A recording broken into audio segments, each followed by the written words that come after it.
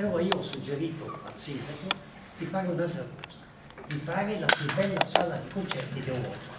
Siccome locali ci sono sempre i grandi concerti eh, classici, però vengono fatti sempre nelle palestre, solo ogni tanto un, uno o due in una chiesa, tutti gli altri sono nelle palestre. E detto facciamola noi qui a Monte Carasso, la grande sala per i concerti di musica classica e così possiamo portare i concerti che vengono fatti a Locarno qui a Monte Carasso. Allora il sindaco mi dice sì va bene, ma cosa costa una, una sala così? La sala multiuso costava circa 2 milioni di euro, questa sala costava 30 milioni di euro.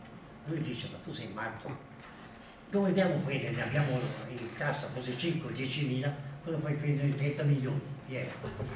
E va bene, dico se ci sono i soldi va bene. Allora io avevo un, un, un grande studente, un magnifico studente argentino con cui sono stato in Argentina e con lui ho fatto anche un piano di una cittadina in Argentina, tipo bravissimo, bravo architetto, che lui quando fa il diploma da me, è il miglior studente, viene a dirmi che lui non vuole fare l'architetto. Dico cosa vuoi fare? Volevo fare soldi. Ma dico vieni da me a chiedermi di come fare i soldi. Vai da banchiere, non venire da me. Lui cosa ha fatto? È partito in eh, Tanzania è andato in Tanzania e è diventato eh, eh, così un operaio della Shell, della ditta no, di petrolio eh, della Shell.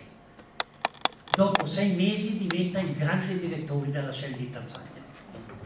In cinque anni diventa plurimilionario facendo uh, no, eh, affari con i grandi sceicchi arabi.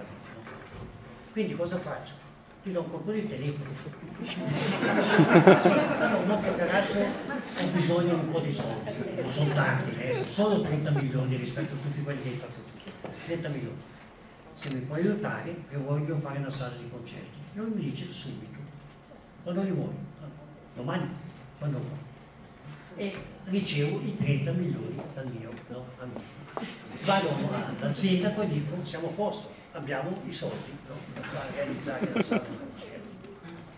I socialisti si mettono ecco. contro perché dicono che una sala di concerti di musica classica non è adatta agli operai, perché gli operai possono sentire solo la fisarmonica, no? la musica classica non è fatta, è una cosa elitaria. Quindi il sindaco, che non ha mai deciso niente senza riuscire a convincere anche gli altri no? eh, partiti, no? dice dobbiamo aspettare finché io riesca a convincere no, eh, i socialisti su questa operazione. Adesso si è ritirato, per cui probabilmente questa sala non si farà mai. No. I 30 milioni sono fuori. Eh.